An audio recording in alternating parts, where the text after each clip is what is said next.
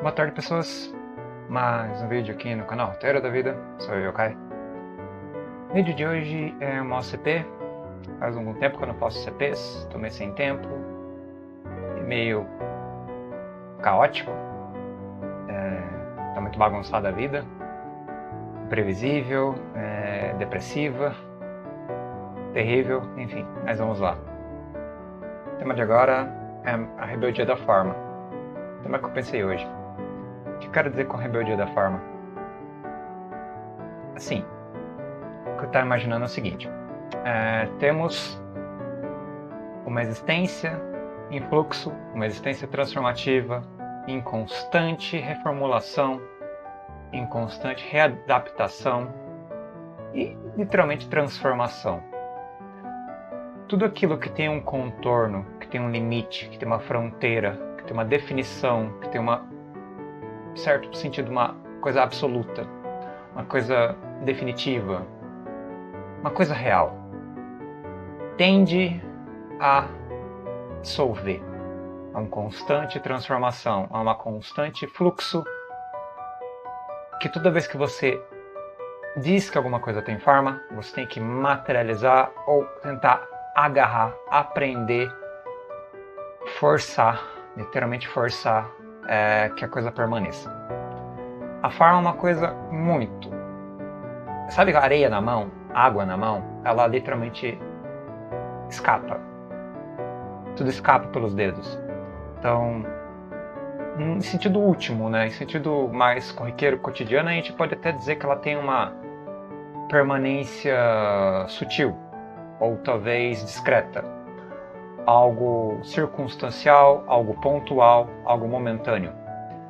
É um instante, um instante, um momento, uma distensão de propagação de, digamos, identidade, uma propagação de realidade. Mas toda vez que a forma se materializa, ao se materializar, automaticamente ela começa a se desconstruir. O que a gente faz? O tempo e o espaço têm infinitas pontuações perspectivas. Então, a cada perspectiva, a gente materializa. A perspectiva do passado é uma dissolução, a perspectiva do presente e do futuro é uma materialização, e aí, novamente, a do passado é uma dissolução, a do presente e do futuro é uma materialização. Materialização.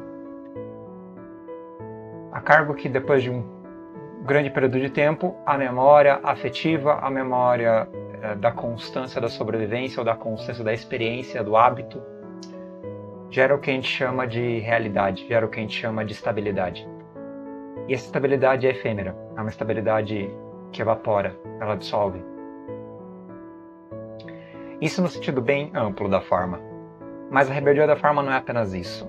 A rebeldia da forma é o conflito. A rebeldia da forma é a infinita apreensão dos infinitos ângulos, onde cada indivíduo consciente ou consciente, cada indivíduo de ação, cada indivíduo potente, ou o indivíduo no sentido de processo, porque a gente não é realmente individual, mas o processo metabólico existencial de uma força, de uma potência com uma delimitada instantânea forma, momentânea forma, exerce direcionamento, exerce impacto, exerce fluxo, literalmente, sobre as forças interativas, sobre a composto de forças que o universo é composto, sobre a grande gama complexa de interações energéticas. E nisso, a gente percebe que essas interações elas são interações potentes. Como eu falei, é um conflito constante porque são inúmeras interações potentes.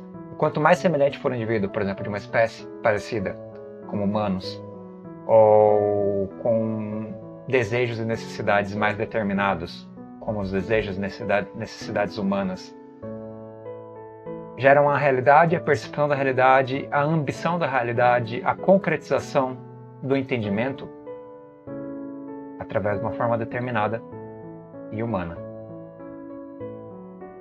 Eu quero dizer com isso é a forma é rebelde, forma é conflito, mas a forma é constantemente materializada. A ideia era mais ou menos essa. mas não tenho certeza se pode-se dizer que exista uma forma que não seja é, transitória, pode dizer assim. Pode-se dizer que a forma sempre é fluida.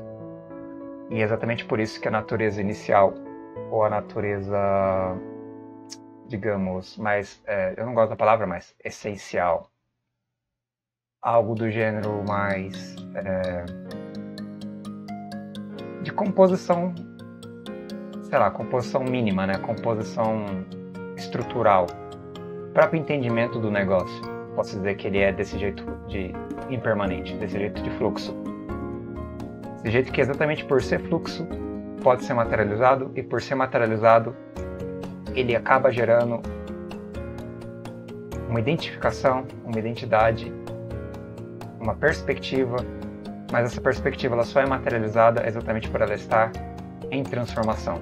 A transformação é aquilo que materializa a própria impermanência, pode dizer assim. E a impermanência é a natureza real da materialidade. Dito desse modo, por isso que eu falei que é uma espécie de essência, uma espécie de natureza própria, seria a forma, que seriam os contornos. Os contornos eles são sempre porosos, são sempre dinâmicos, são sempre aleatórios, em grande parte, e apreendidos como ordem, embora sejam aleatórios. A ordem é uma espécie de um ponto, digamos que exista ponto, aquela metáfora do ponto que é tanto um ponto quanto um, uma linha de ângulo, né? uma linha de. Como é que é o nome? Um fluxo, mas é, como que chama em física quântica? É um ponto fixo com uma ondulação. A ondulação mesmo, é ponto e onda, seria isso. Então, essa permanência é a percepção e a ondulação é a percepção em ação. Então, o paradoxo seria: para perceber, se percebe na ondulação. Para se ondular, se ondula na percepção e a percepção é a discreto, é a pontuação, é a, o afunilamento da, da fronteira. Mas essa fronteira, como eu disse, ela é sempre incontrolável, in, insaciável, não é uma palavra ruim, mas sempre intocável, pode dizer assim, inapreensível, mas ela é apreensível no sentido discreto, não necessariamente ilusório, mas no sentido pragmático. E não no sentido consciente, mas no sentido pragmático da consciência ser um reflexo da própria ondulação dentro de uma potente ondulação complexa que é chamado de consciência, que é tão rebelde e tão aleatória quanto todo o resto. Que é tão forma e tão não forma quanto a própria definição de contorno, de finalidade e de fronteira. É mais ou menos essa ideia, essa ideia da, do pensamento é, que tenta refletir sobre como se comporta é, a variação, a transitoriedade, a efemeridade, constante adaptação e desestruturação, dissolução daquilo que a gente considera identitário daquilo que considera é, permanente ou estável e daquilo que na estabilidade é a própria instabilidade. É uma coisa filosófica, é uma reflexão um tanto inconclusiva, né? Obviamente. É, a palavra que usariam seria aporética. Gostam dessa palavra, principalmente Platão. Eu não gosto muito de Platão, mas enfim. A pegada é mais ou menos isso. E é uma coisa um tanto quanto inquietante. Porque todas as materializações de compreensão são compreensões formulativas, identificativas, determinativas, realizativas e compreensivas. É um entendimento através do pensamento. Mas esse pensamento só se dá através da sua não permanência e da sua reificação constante em instantes pontuais através de uma, uma paranoia constante de manter uma coisa que não se mantém. Que seria o que a gente entenderia por lastro mínimo do, da sanidade real, algo mais palatável na racionalidade. Mas a pegada é mais ou menos essa. A pegada é mais ou menos entender a natureza última daquilo que, por natureza última, não se adere, não se formaliza, não se manifesta como natureza última. A sua não natureza é a sua própria natureza aplicada. Essa seria a rebeldia de todas as formas. Sejam as formas que a gente absorve através da constante manutenção da linguagem ou da constante manutenção da sensibilidade através do que a gente chama de paradigma de espécie, que é um paradigma de cultura, que é um paradigma de intelecto e razão, é, que é falsamente entendido como qualitativo, qualitativo temporalmente, historicamente, culturalmente, qualitativo na complexidade da interação, na complexidade das, das ações e das, enfim, é, do domínio ou do êxito na manutenção ou na transformação da forma, ou seja, na submissão do mundo através da nossa vontade. Toda vez que o mundo se submete à nossa vontade, a gente pensa que a gente é potente, endeusado, empoderado, mas essa submissão ela não é qualitativa, ela é uma submissão é, esvaziada, ou pelo menos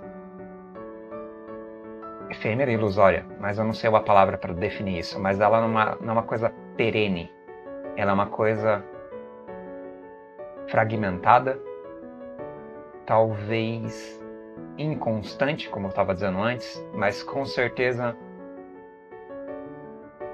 não tem um real domínio, um real controle sobre isso. É um controle abstrato, não um controle material. E mesmo a materialidade da, das ferramentas utilizadas para controlar são ferramentas que, em última instância, em natureza própria, são circunstâncias, são equilíbrios, são potências é, que nascem, que se desenvolvem e que se dissolvem quase que no mesmo instante. Por mais que você deseje que a realidade seja plena, a realidade só é plena através dessa dessa sei lá, esse vídeo ficou pausado, mas dessa coisa sombria, dessa coisa enigmática, pode-se dizer assim. Enfim, é mais ou menos essa ideia. É uma coisa bem confusa de se entender, porque o próprio entendimento ele é uma definição que não dá conta de se manifestar e de se manter fixo ou ter uma manutenção constante que dignifique a sua própria estrutura de utilização ou de significado. Ou seja, o entendimento não consegue ser potente para ser absoluto. E quando o absoluto não se manifesta, tudo se torna incontrolável, caótico é, e incômodo, muito incômodo. Então a ideia é mais ou menos essa. É mais ou menos isso. Essa é a ideia de rebeldia da forma. É como se fosse uma eterna é, criança, experimentando e nunca concluindo. E através da conclusão, é sempre uma conclusão infantil, ingênua e sem credibilidade. Mas sim, existem infinitas conclusões, existem, infinitas formulações de moral ou de intelecto mesmo, episteme, que tentam dar conta e tentam frear, a, ou pelo menos não, não frear, mas ao menos é, realizar no sentido de significar, no sentido de pacificar a relação para que a relação não seja tão, mas tão, mas tão ampla, tão incontrolável, tão incômoda, tão indegustável, que a própria vida perca o sentido último de ser seguida no fluxo, digamos, do vazio pleno, que seria exatamente a prática da forma rebelde, que é um vazio que nunca se estrutura como algo real. Então é mais ou menos essa ideia. Mas é isso aí. Até mais. Falou.